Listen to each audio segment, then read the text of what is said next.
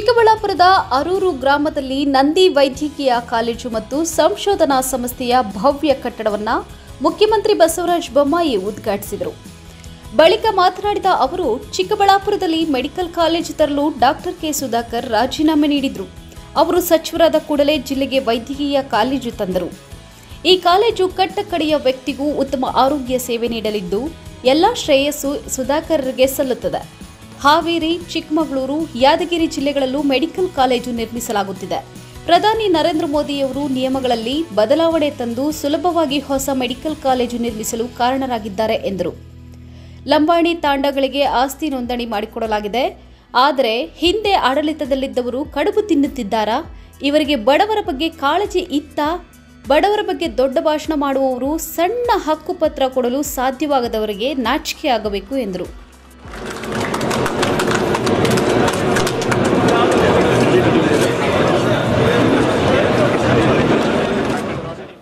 ನೋಡಿ ನಮ್ಮ ಆಸೆ ಪ್ರತಿಯೊಂದು ಜಿಲ್ಲೆಗೆ ಮೆಡಿಕಲ್ ಕಾಲೇಜ್ ಆಗಬೇಕು ಅಂತ. ಹಿಂದಿನ ಸರ್ಕಾರಗಳು ಇದನ್ನು ಮಾಡೋಕ್ಕೆ ಸಾಧ್ಯ ಆಗಿರಲಿಲ್ಲ. ನಮ್ಮ ನೆಚ್ಚಿನ ಪ್ರಧಾನಮಂತ್ರಿ ನರೇಂದ್ರ ಮೋದಿಜಿಯವರು ಇಡೀ ದೇಶದಲ್ಲಿಯೇ ಮೆಡಿಕಲ್ ಕಾಲೇಜ್ ಹೆಚ್ಚಾಗಬೇಕು ಅಂತ ಅವರು ಹಲವಾರು ರೂಲ್ಸ್ಗಳನ್ನು ಬದಲಾವಣೆಯನ್ನು ಮಾಡಿ ಹೆಚ್ಚು ಕಮ್ಮಿ ಒಂದು ಜಿಲ್ಲೆಗೆ ಆಗಬೇಕು ಅಂಥೇಳಿ ಯಾವುದು ಎಪ್ಪತ್ತು ವರ್ಷದಲ್ಲಾಗಿತ್ತು, ಅದು ಕೇವಲ ಎಂಟೊಂಬತ್ತು ವರ್ಷದಲ್ಲಿ ಇವತ್ತು ಆಗಿದೆ. ಅದೇ ಸರಣಿಯಲ್ಲಿ ನಮಗೆ ನಾಲ್ಕು ಮೆಡಿಕಲ್ ಕಾಲೇಜನ್ನು ಕೊಟ್ಟಿದ್ದರು ಅರವತ್ತು ಪರ್ಸೆಂಟು ಸೆಂಟ್ರಲ್ ಗೌರ್ಮೆಂಟು, ನಲ್ವತ್ತು ಪರ್ಸೆಂಟ್ ಸ್ಟೇಟ್ ಗೌರ್ಮೆಂಟ್. ಅದು ಯಾವುದು ಬ್ಯಾಕ್ವರ್ಡ್ ಇದೆ, ಯಾವುದಿಲ್ಲ ಅನ್ನೋದನ್ನು ನೋಡ್ಕೊಂಡು ಕೊಟ್ಟಿದ್ರು. ಅಲ್ಲಿ ಚಿಕ್ಕಬಳ್ಳಾಪುರ ಕೂಡ ಒಂದು.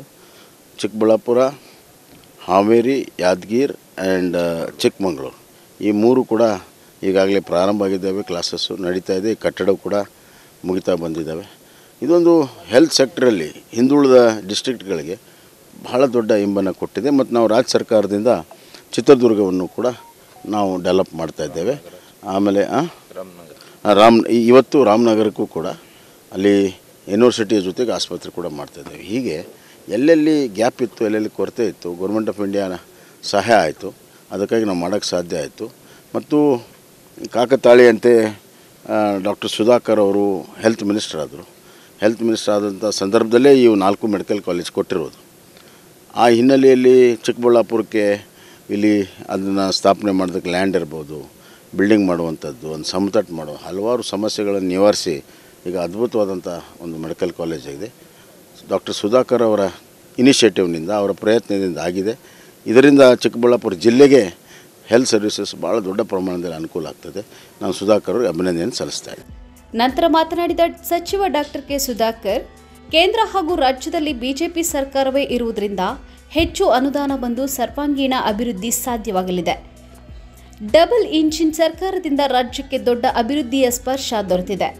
ರೈತರ ಮಕ್ಕಳು ಸೇರಿದಂತೆ ಹನ್ನೊಂದು ಲಕ್ಷ ಮಕ್ಕಳಿಗೆ ಕಾಮನ್ ಮ್ಯಾನ್ ಸಿಎಂ ಬಸವರಾಜ ಬೊಮ್ಮಾಯಿಯವರು ವಿದ್ಯಾನಿಧಿ ನೀಡಿದ್ದಾರೆ.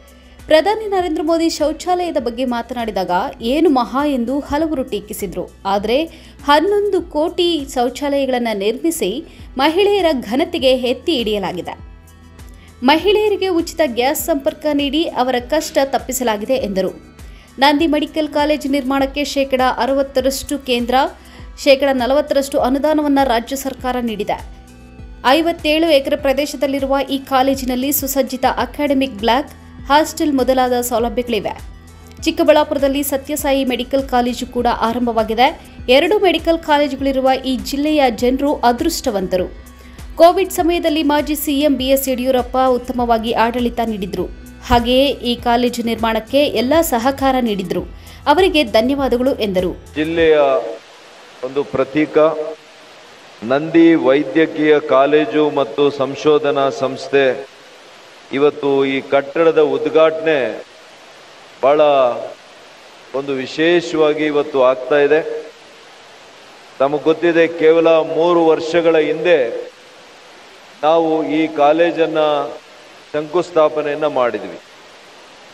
ಎಂಟುನೂರ ಹತ್ತು ಕೋಟಿ ರೂಪಾಯಿಗಳ ಈ ಒಂದು ಯೋಜನೆ ಇಷ್ಟು ಬೇಗ ಕಾಮಗಾರಿ ಮುಗಿದು ಈ ಕಾಮಗಾರಿಯ ಉದ್ಘಾಟನೆಯನ್ನ ಮಾಡ್ತಾ ಇರ್ತಕ್ಕಂಥದ್ದು ನಿಜವಾಗಿಯೂ ಕೂಡ ಈ ಚಿಕ್ಕಬಳ್ಳಾಪುರ ಜನತೆಗೆ ಇದು ಹೆಮ್ಮೆಯ ವಿಚಾರ ಅಂತ ನಾನು ಹೇಳಲಿಕ್ಕೆ ಬಯಸ್ತೇನೆ. ಶ್ರೇಷ್ಠ ಸರ್ಕಾರ, ಮಾನ್ಯ ಬಸವರಾಜ ಬೊಮ್ಮಾಯಿರವರ ಸರ್ಕಾರ ಅದಕ್ಕೆ ಮುಂಚೆ ನಮ್ಮ ಮಾನ್ಯ ಯಡಿಯೂರಪ್ಪನವರು ಕೂಡ ಒಳ್ಳೆಯ ಆಡಳಿತವನ್ನು ಕೊಟ್ಟಿದ್ರು. ಅದೇ ರೀತಿ ಕಾಲೇಜನ್ನು ಕೊಡುವಂತ ಸಂದರ್ಭದಲ್ಲಿ ಕೂಡ ನಮ್ಮ ನಿಕಟಪೂರ್ವ ಮುಖ್ಯಮಂತ್ರಿಗಳು ಮಾನ್ಯ ಯಡಿಯೂರಪ್ಪನವರು ಸಹಕಾರವನ್ನು ಕೊಟ್ಟಿದ್ದಾರೆ. ಈ ಸಂದರ್ಭದಲ್ಲಿ ಜಿಲ್ಲೆಯ ಸಮಸ್ತ ಜನತೆಯ ಪರವಾಗಿ ಅವರಿಗೆ ವಿಶೇಷವಾಗಿರ್ತಕ್ಕಂಥ ಕೃತಜ್ಞತೆಗಳನ್ನು ಕೂಡ ನಾನು ಅರ್ಪಿಸ್ತೇನೆ. ಇವತ್ತು ಅನೇಕ ಕಾರ್ಯಕ್ರಮಗಳ ಫಲಾನುಭವಿಗಳು ಇವತ್ತು ಬಂದಿದ್ದೀರಿ. ಯಾವುದೇ ಚ್ಯುತಿ ಬಾರದಂತ ರೀತಿಯಲ್ಲಿ ನಾವು ನಡ್ಕೊಳ್ತೀವಿ. ನಿಮ್ಮೆಲ್ಲರ ಆಶೀರ್ವಾದ ಹೀಗೆ ಮುಂದುವರಿಬೇಕು ಅಂತೇಳಿ ಮನಸ್ಫೂರ್ತಿಯಾಗಿ ನಿಮಗೆ ನಿವೇದನೆ ಮಾಡಿ ನನ್ನ ಮಾತುಗಳಿಗೆ ವಿರಾಮವನ್ನು ನೀಡ್ತೇನೆ. ಜೈ ಹಿಂದ್, ಜೈ D Devaraj MMTV news Chikkaballapur.